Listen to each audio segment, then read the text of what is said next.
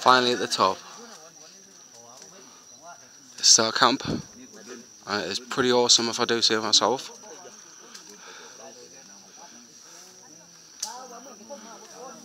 All the luxuries of home.